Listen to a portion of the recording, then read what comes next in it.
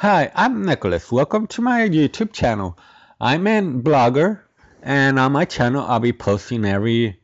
Uh, I'll be posting videos about unboxing, horror, and education, and much more. Every single Tuesday, every single week, you'll learn how to be your own boss from my channel. Be sure to subscribe for new contact content and comment down below to introduce yourself. We had the opportunity of interviewing some great and supportive friends of Nick, and here's what they had to say. I met Nick at a volunteering event that selects people who want to volunteer as much as learn from each other.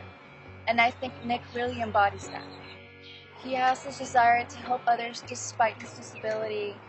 He actually uses it to boost him up, boost his spirits, and I think we could all learn from that.